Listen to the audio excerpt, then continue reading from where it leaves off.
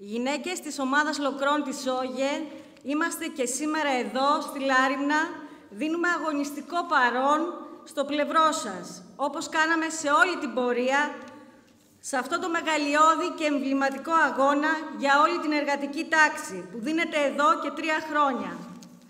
Είμαστε περήφανες που είμαστε σήμερα εδώ, γιατί νιώθουμε ότι είμαστε πια κομμάτι από αυτόν τον αγώνα.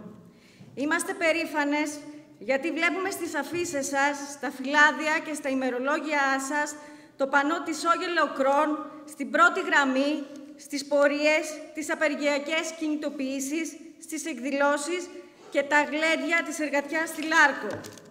Είμαστε περήφανες γιατί πιαστήκαμε χέρι-χέρι με τις γυναίκες σας στην Επιτροπή Αγώνα Γυναικών, που έφτιαξαν εδώ, στη Λάρινα, μαζί τους τις αγωνίες, την αντοχή, την υπομονή, το κέφι και την αισιοδοξία τους.